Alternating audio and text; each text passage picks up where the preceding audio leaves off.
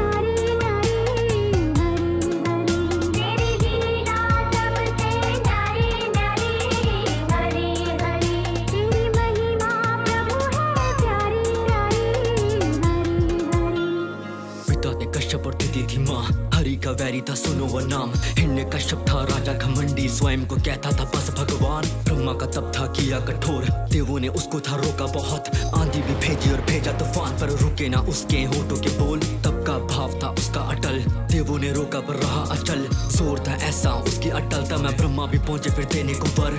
आँखें खुली तो मांगा ये वरना पशु आदमी छू सके सर। शस्त्र कोई मुझे छू ना सके, अस्त्र भी हो मेरे आगे विफल दिन में मरू ना रात में, ना स्थल पे, ना आकाश में। देव असुर ना करे प्रहार, ना भीतर मरू, ना मरू बाहर। रात लिखी ना मौत दिन में भी कोई ले मेरे प्राण। मार सके ना कोई गंधर्व, अमर रहे बस मेरी ये शान। पाके था चढ़ा अहम, हर प्राणी था जाता उससे सहम। मार सके ना कोई उसे, बस यही था पाला झूठा वहम। पापों को धरती न करती सहन, पापी पे हरी न करते रहम। आते हैं स्वयं, प्रभु धरा में करने को भंग, पापी वहम। प्रभु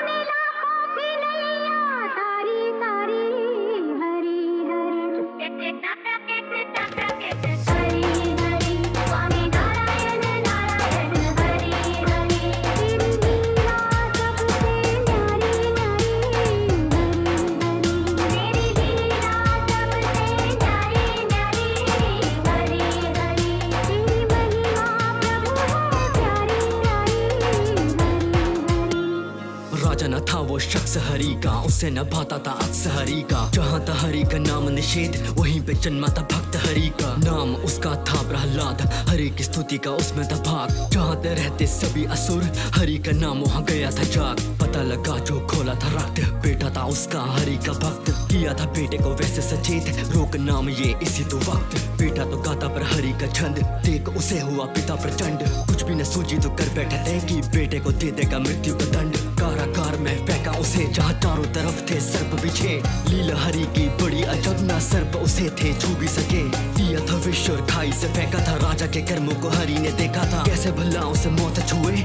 हरि की छाया में राजा का बेटा था। उसको मिलना था वर भी अजीब, लपटे न छुएगी उसका शरीर। नाम होलिका था। प्रहलाद को गोद पे ले बैठी फिर। ज्वाला में बैठी न डरी जरा। हरी नाम का जादू चला। प्रहलाद को ना हानि हुई। खुद को वो बैठी पर पूरी जला।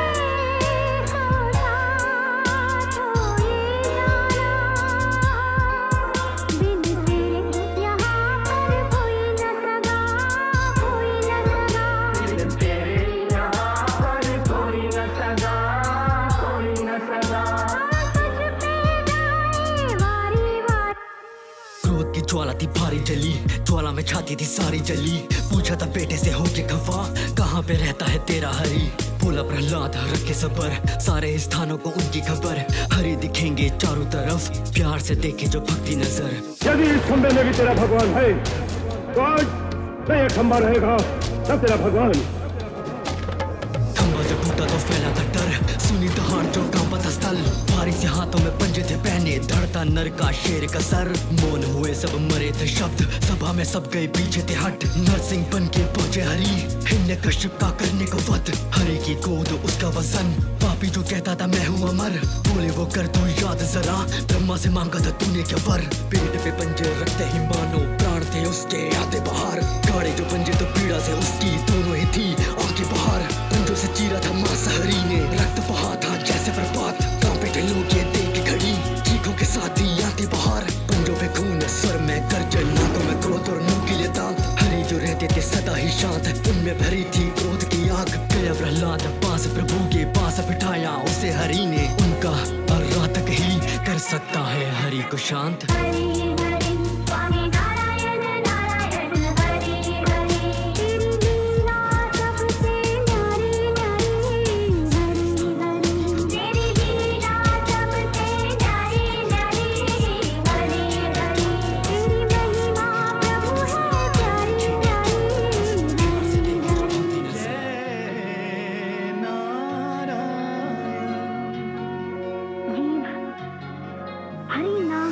नहीं छोड़ सकती।